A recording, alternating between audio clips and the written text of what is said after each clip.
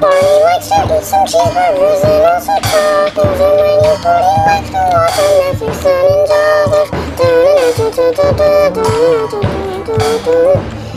Barney's friends are super tall